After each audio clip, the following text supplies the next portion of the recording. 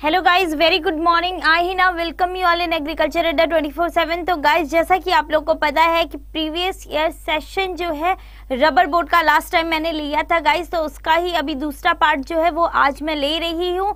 तो आज की क्लास में हम लोग प्रीवियस ईयर के बहुत सारे क्वेश्चन सॉल्व करेंगे, जो रबर बोर्ड में पूछे गए थे. ओके गाइज़ जैसे पिछली बार भी मैंने आप लोग को काफ़ी सारे क्वेश्चन बताए थे, जो रबर बोर्ड में पूछे गए थे. तो काफ़ी सारे स्टूडेंट्स की क्वेरी थी इसको लेकर के. तो आज भी मैं आप लोग के लिए रबर बोर्ड के प्रीवियस ईयर के क्वेश्चंस लेकर के आई हूँ गाइज़ तो जिनको हम लोग सॉल्व करने वाले हैं ओके कि कौन से क्वेश्चंस रबर बोर्ड में आए थे, ठीक है? तो इन क्वेश्चंस के अकॉर्डिंग आप लोग इसको आइडिया लगा सकते हो कि रबर बोर्ड में किस तरीके के क्वेश्चंस आपसे पूछे जाएँगे, जिन भी स्टूडेंट्स ने इस बार रबर बोर्ड का फॉर्म फिल किया है ओके गाइज़ तो क्योंकि आपको पता है नोटिफिकेशन आ चुकी है और एग्ज़ाम डेट भी आपकी कभी भी आ सकती है। तो गाइज़ अभी मैं आप लोगों के साथ डिस्कस करने वाली हूँ प्रीवियस ईयर रबर बोर्ड का क्वेश्चन पेपर ओके तो चलो, सबसे पहले गाइज़ आप लोग एग्रीकल्चर अड्डा ट्वेंटी फोर सेवन को ज़रूर से आप लोग सब्सक्राइब कर लीजिए यूट्यूब पे और डाउनलोड कर लीजिए इसके ऐप को, ठीक है गाइज़ ओके तो चलो, आप लोग का फ़र्स्ट क्वेश्चन जो है, आप लोग की स्क्रीन पर है guys which soil has highest cation exchange capacity कौन सी सॉइल है जिसमें आपकी हाईएस्ट केटाइन एक्सचेंज कैपेसिटी होती है? लोमी सैंड होगा लोमी सॉइल होगा सैंडी लोम होगा या फिर क्ले लोम सॉइल होगा? तो गाइस फटाफट से बताइए, किस क्वेश्चन का आंसर क्या होगा? कौन सी सॉइल है जिसमें केटाइन एक्सचेंज कैपेसिटी जो होती है, वो मैक्सिमम होती है? कौन सी सॉइल की हाईएस्ट केटाइन एक्सचेंज कैपेसिटी होती है? तो गाइस जल्दी से इस क्वेश्चन का आंसर दीजिए। इस क्वेश्चन का आंसर क्या होगा? लोमी सॉइल होगा लो सॉरी लोमी सैंड होगा लोम होगा सैंडी लोम होगा या फिर क्ले लोम होगा। तो गाइस क्विकली आंसर कीजिए इस क्वेश्चन का क्या आंसर होगा। कौन सी सॉइल होगी भाई जिसकी हाईएस्ट केटाइन एक्सचेंज कैपेसिटी है? बताइए गाइस जल्दी से बताइए आंसर क्या होगा। कौन सी सॉइल है जिसकी हाईएस्ट केटाइन एक्सचेंज कैपेसिटी है? तो देखो, आपका सही आंसर होगा गाइस क्ले लोम ठीक है? क्ले लोम सॉइल जो है गाइस इसकी आपकी केटाइन एक्सचेंज कैपेसिटी जो होती है, वो बहुत अच्छी होती है इवन दो हाईएस्ट होती है। ठीक है गाइस ओके चलो, अब हम दूसरा क्वेश्चन देखेंगे। हाँ नेक्स्ट क्वेश्चन है आपका which of the following sequence is being used in combination seed treatment combination seed treatment में आप सॉरी आप सीड ट्रीटमेंट में कौन सा सीक्वेंस यूज़ करोगे? राइजोबियम राइजोबियम फंजासाइट इंसेक्टिसाइड ये सीक्वेंस यूज़ करोगे? या फिर आप लोग फंजासाइट इंसेक्टिसाइड राइजोबियम ये वाला सीक्वेंस यूज़ करोगे, या फिर इंसेक्टिसाइड राइजोबियम फंजासाइट ये सीक्वेंस यूज़ होगा, या फिर राइजोबियम इंसेक्टिसाइड एंड फंजासाइट ये वाला सीक्वेंस यूज़ होगा। तो गाइस जल्दी से बता दीजिए कौन सा सीक्वेंस आप लोग यूज़ करोगे जब आप सी ट्रीटमेंट करोगे। ठीक है सी ट्रीटमेंट में कौन सा कॉम्बिनेशन है जो यूज़ करा जाएगा? जल्दी से बताइएगा इस क्वेश्चन का आंसर क्या होगा? देखिए कौन सा कॉम्बिनेशन है? कौन सा कॉम्बिनेशन यूज़ होगा सी ट्रीटमेंट में? सी ट्रीटमेंट में जब आप सी ट्रीटमेंट देते हो ना तो सीड ट्रीटमेंट में ताकि इन्फेक्टेड सीड जो है इन्फेक्टेड सीड के थ्रू और डिज़ीज़ नहीं हो, उससे पहले हम लोग ट्रीटमेंट प्रोवाइड करते हैं ना तो कौन सा ट्रीटमेंट दोगे आप? तो यहाँ पर आप ट्रीटमेंट प्रोवाइड करोगे guys fungicide insecticide and rhizobium कौन सा ट्रीटमेंट यूज़ करोगे?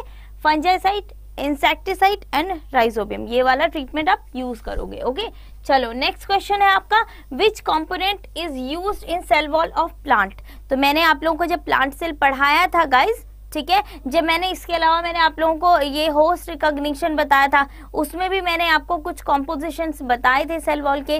तो वहाँ पर प्लांट सेल वॉल का भी कॉम्पोजिशन इवन दो कार्बोहाइड्रेट में भी मैंने बताया है। तो आप लोग जल्दी से बताओ कौन सा कॉम्पोनेंट होता है जो प्लांट सेल वॉल में यूज़ होता है। फॉस्फोरस, कैल्शियम, सल्फ़र और पोटेशियम।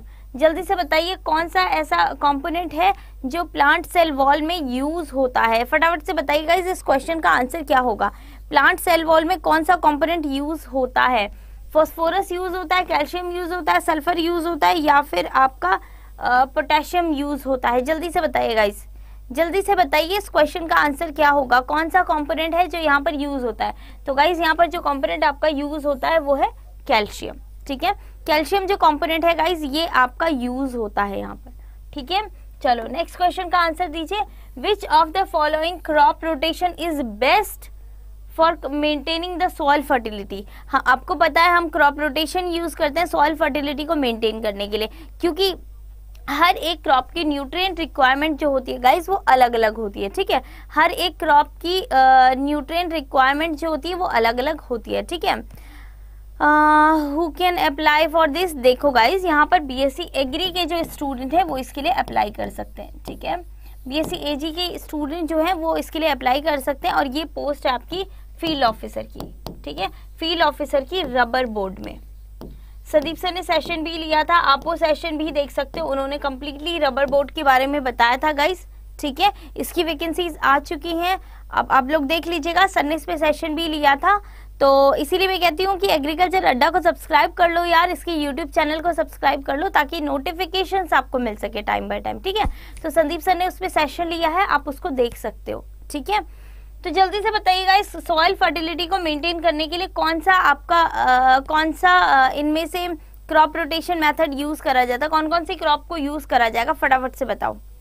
जल्दी से आंसर दो गाइस कौन सा यहाँ पर रोटेशन यूज़ करा जाएगा क्रॉप्स के क्रॉप्स को मेंटेन करने के लिए क्रॉप्स की फर्टिलिटी को मेंटेन करने के लिए विंदो जल्दी से बताइए, क्योंकि आपको पता है कि हर एक क्रॉप की अपनी न्यूट्रिएंट रिक्वायरमेंट अलग अलग होती है, ठीक है?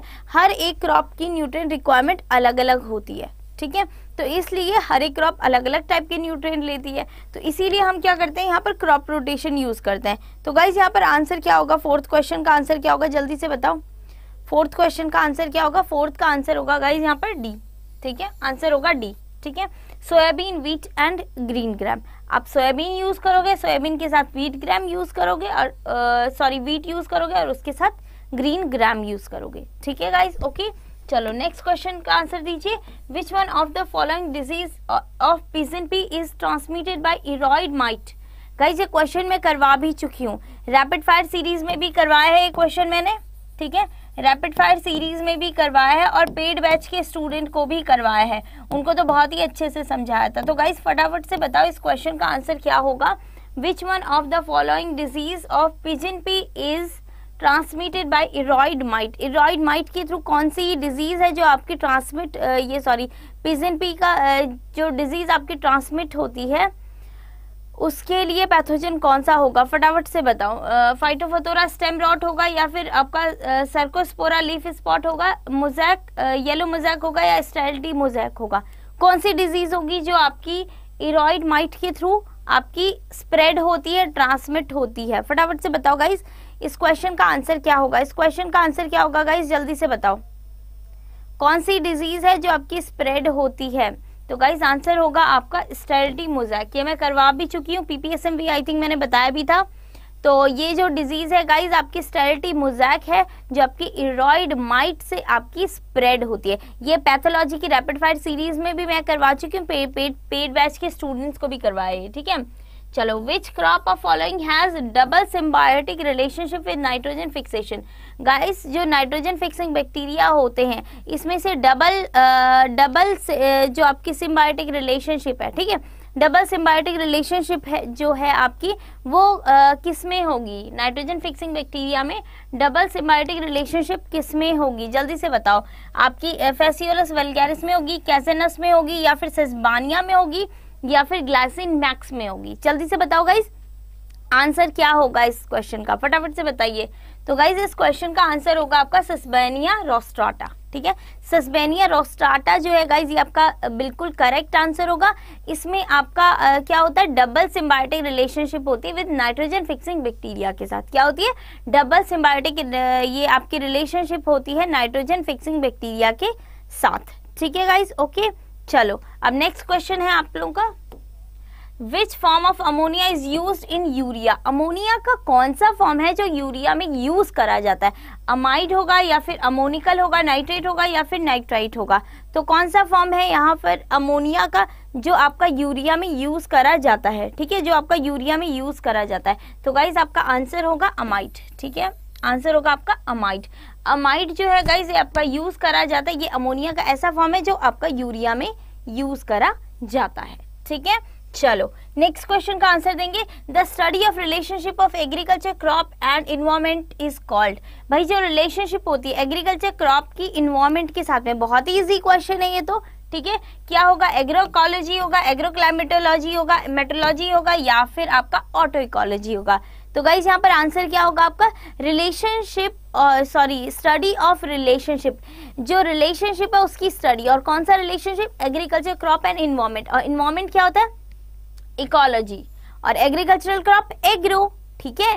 तो यहाँ पर एग्रो इकोलॉजी बोला जाएगा। किसको एग्रो इकोलॉजी बोला जाएगा? आपके रिलेशनशिप को जो आपकी एग्रीकल्चर क्रॉप और किसके बीच होती है?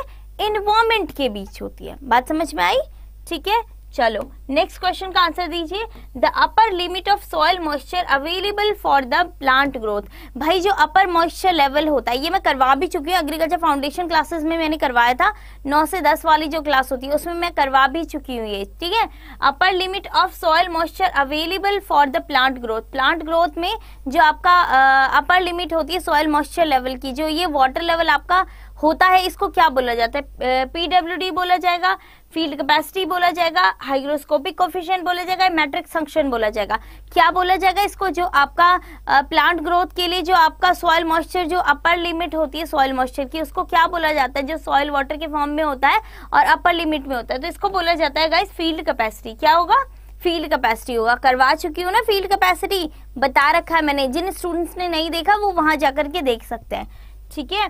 चलो। The possible limitation of the effective use of azolla भाई possible limitation in effective use of azolla azolla का यूज़ जब करा जाता है तो उसमें पॉसिबल लिमिटेशन क्या होती हैं? Less availability of water water content बहुत कम चाहिए. Low survival rate during the summer summer summer season में सर्वाइवल रेट बहुत कम चाहिए, या फिर प्रॉब्लम ऑफ़ ट्रांसपोर्टेशन ट्रांसपोर्टेशन की दिक्कत होती है, या फिर ऑल ऑफ़ दीज तो गाइस आंसर क्या होगा? जब आप एजोला का इफ़ेक्टिव यूज़ करते हो एजोला को यूज़ करते हो तो उस टाइम पे क्या पॉसिबल लिमिटेशंस हैं जो आपको रखनी होती है? तो आंसर क्या होगा गाइस इसमें आंसर होगा आपका ऑल ऑफ़ दीज भाई, सारी की सारी ही लिमिटेशंस आपको रखनी होती है। वाटर की availability low low survival rate during summer ये भी आपको ध्यान रखना होता है। And problem of transportation transportation की दिक्कत भी यहाँ पर होती है। ठीक है? चलो नेक्स्ट क्वेश्चन का आंसर दो। When when the slaughter tapping done in the rubber slaughter tapping जो होती है रबर में कब होती है? गाइस एक बात बता देती हूँ स्लॉटर टैपिंग जो होती है, ये क्या होता है? रबर जो है, जब आपका निकाला जाता है ना तो नेचुरल लेटेक्स से निकाला जाता है। ठीक है लेटेक्स फॉर्म में निकाला जाता है। तो जब उसे नेचुरली निकाला जाता है, उसको स्लॉटर टैपिंग मेथड बोलते हैं। ठीक है? तो ये कब करा जाता है आपका? Once in a month once in a year twice in a year और प्रायर टू रिप्लेसिंग प्लांटेशन जल्दी से बताइए काइस कब स्लॉटर टैपिंग जो है ये रबर में कब करी जाती है? महीने में एक बार साल में एक बार आ, साल में दो बार या फिर प्रायर टू रिप्लेसिंग प्लांटेशन तो गाइज़ आंसर होगा आपका prior to replacing plantation D आपका आंसर होगा। ठीक है? चलो नेक्स्ट क्वेश्चन का आंसर हम लोग देख लेते हैं. Viviparous germination is seen in viviparous germination ये एनिमल हस्बेंड्री का क्वेश्चन है गाइस एनिमल हस्बेंड्री का क्वेश्चन है. Viviparous germination is seen in viviparous germination इनमें से किसमें देखा जाता है? चाव चाव में देखा जाता है बिटर गार्ड वाटरमेलन या फिर स्पॉन्ची गार्ड में देखा जाता है. जल्दी से बताओ इस क्वेश्चन का आंसर क्या होगा? विवीपेरस जर्मिनेशन जो है, ये किसमें देखा जाता है? विवीपेरस जर्मिनेशन किसमें देखा जाता है? तो ये आपका चाव चाव में देखा जाता है, ठीक है? चाव चाव क्या है गाइस चाव चाव आपकी नदन चाइना नदन चाइना में, ठीक है? नदन चाइना में डॉग की एक ब्रीड है, ठीक है? डॉग की एक ब्रीड है, इनके जो ईयर्स होते हैं ना, इनकी सॉरी जो ईयर्स होते हैं, वो इरेक्ट होते हैं, ठीक है? ईयर्स जो होते हैं, वो बिल्कुल इरेक्ट होते हैं, ठीक है? तो ये आपकी, अगर पूछा जाए तो ये आपकी ये आपकी डॉग की ब्रीड होती है, नदन चाइना में मिलती है, ठीक है? उसको बोलते हैं चाव चाव और ये किसका एग्ज़ाम्पल है? बीबी पेरिस जर्मिनेशन ठीक है? बीबी पेरिस जर्मिनेशन का एग्ज़ाम्पल है ठीक है? चलो नेक्स्ट क्वेश्चन हम लोग देख लेते हैं। Internal crop research institute for semi arid and tropics ICRISAT कहाँ लोकेटेड है? International crop research institute for the semi arid tropics is located at Aleppo में होगा, या फिर नैरोबी में होगा हैदराबाद में होगा, या फिर पेरिस में होगा। बताइए आंसर क्या होगा? तो गाइज़ यहाँ पर आंसर होगा आपका हैदराबाद इंडिया ठीक है? हैदराबाद में आपका एक जो है, ये प्रेजेंट है। ठीक है? चलो, जल्दी से बताइए इस क्वेश्चन का आंसर क्या होगा? Quantitative trait having low heritability are improved by pedigree selection recurrent selection mass selection या फिर प्योर सिलेक्शन जो क्वांटिटेटिव ट्रेड्स होता है क्वांटिटेटिव ट्रेड्स का मतलब होता है गाइस जिनका इन्वायरमेंट के ऊपर इन्फ्लुएंस होता है, या बहुत सारे जीन्स जिनको इन्फ्लुएंस करते हैं, या फिर इन्वायरमेंट का इन्फ्लुएंस जिनके ऊपर होता है, जैसे वेट हो गया हाइट हो गया ये कुछ चीज़ें होती है जिनको क्वांटिटेटिव ट्रेड्स बोला जाता है, ठीक है? तो इनका गाइज़ ये क्वांटिटेटिव ट्रेड्स जो होते हैं इन्वायरमेंट से इन्वायरमेंट का इन्फ्लुएंस इनके ऊपर होता है, ठीक है? तो एक्चुअली इनकी जो हेरिटेबिलिटी होती है, एक जनरेशन से दूसरे जनरेशन में जाने की जो कैपेसिटी होती है, वो थोड़ी सी कम होती है। इनमें हेरिटेबिलिटी रेट जो होता है, वो कम होता है, ठीक है? तो ये आपको देखने को मैक्सिमम मिलेगा रिकरेंट सेलेक्शन में। ठीक है? इसमें क्या होता है? आपका इम्प्रूव करा जाता है कैरेक्टर्स को, ठीक है? इम्प्रूव करा जाता है कैरेक्टर्स को। उसको बोला जाता है रिकरेंट सेलेक्शन ठीक है? चलो। Fills flower in Japanese are known as fills flower जो आपके जापानीज में होते क्या बोला जाता है? शोई सिन जूसी या फिर इकीबाना शोई सिन जूसी या फिर इकीबाना फ्लोरिकल्चर का क्वेश्चन है गाइस फ्लोरिकल्चर का क्वेश्चन है. फटाफट से आंसर दो, क्या आंसर होगा इस क्वेश्चन का? भाई, जो आपके फिल्स फ्लावर होते हैं जापानीज में, उनको क्या बोला जाता है? शोई बोला जाता है, शिन बोला जाता है, जूसी बोला जाएगा या फिर एकीबाना बोला जाएगा? आपको पता है ये सारे फ्लावर अरेंजमेंट पैटर्न है, ठीक है? फ्लावर अरेंजमेंट पैटर्न है, जिसमें एकीबाना को बहुत ज़्यादा यूज़ करा जाता है। बताइए तो यहाँ पर जो यूज़ करा जाएगा गाइज़ वो होगा जूसी। ठीक है? जूसी यूज़ करा जाएगा, ठीक है? चलो early bearing cultivate of coconut is early bearing cultivate of coconut is कौन सा होगा? टॉल होगा ड्वार्फ होगा नेचुरल इंटू टॉल होगा सॉरी टॉल इंटू ड्वार्फ होगा या नेचुरली क्रॉस्ड ड्वार्फ होगा? Early bearing cultivate early bearing cultivate of coconut early bearing cultivate of coconut जो है गाइस ये आपका कौन कैसा होगा? टॉल होगा ड्वार्फ होगा या फिर आपका टॉल ड्वार्फ होगा या फिर नेचुरली नेचुरली क्रॉस्ड ड्वार्फ होगा। जल्दी से बताइएगा इस आंसर क्या होगा इसका? आंसर क्या होगा इस क्वेश्चन का? जल्दी से बताइए। तो अर्ली बियरिंग कल्टीवेट जो होता है गाइस कोकोनट का, वो आपका जनरली ड्वार्फ होता है। ठीक है? ड्वार्फ होता है। अर्ली बियरिंग जो आपका कल्टीवेट अर्ली बियरिंग कल्टीवेट होता है कोकोनट का, वो आपका ड्वार्फ होता है। ठीक है? चलो नेक्स्ट क्वेश्चन का आंसर दीजिए। Central arid zone research institute is located in बहुत ही इजी क्वेश्चन है। भाई uh, काजरी जो है आपका ठीक है? Central arid zone arid zone research institute काजरी जो है आपका कहाँ सिचुएटेड है? तो गाइज़ ये आंसर हो जाएगा आपका जोधपुर ठीक है? ये आपका सिचुएटेड है कहाँ? जोधपुर में सिचुएटेड है ठीक है? तो गाइज़ ये uh, आपके रबर बोर्ड के क्वेश्चंस थे। ठीक है? जो मैंने आप लोग को बताया नेक्स्ट सेशन में इस सैटरडे लेके आऊँगी आप लोग के लिए, ठीक है? इस सैटरडे हम लोग अगेन दोबारा से नया सेशन दोबारा से जो आपका पार्ट थ्री है रबर बोर्ड के लिए, वो मैं आपके लिए लेके आऊँगी। तो गाइज़ जितने भी स्टूडेंट ने रबर बोर्ड का फॉर्म फिल किया है, या जो स्टूडेंट रबर बोर्ड की प्रिपरेशन कर रहे हैं तो या इफ्को वाले स्टूडेंट भी रबर बोर्ड का सेशन देख लेते हैं, क्योंकि क्वेश्चंस तो आपके एग्रीकल्चर के ही हैं और इम्पोर्टेंट क्वेश्चंस ही है यहाँ पर भी। ठीक है गाइज़ तो आप लोग ये सारे क्वेश्चंस अटेंड कर सकते हो, ठीक है? आप लोग जब एक बार देख लोगे तो ऐसे, क्योंकि रिपीटेड एग्जामिनेशन के क्वेश्चन जो है ना गाइज़ ये काफ़ी ज़्यादा पूछे जाते हैं, ठीक है? रिपीटेड क्वेश्चन बहुत ज़्यादा पूछे जाता है। तो इसलिए आप लोग इसे देख आप ये जो भी स्टूडेंट इफ्को की प्रिपरेशन कर रहे हो या फिर आप लोग रबर बोर्ड की प्रिपरेशन कर रहे हो तो आप लोग ये क्वेश्चन देख के प्रीवियस ईयर का आइडिया लगा सकते हो कि क्या क्या क्वेश्चन पूछे गए थे।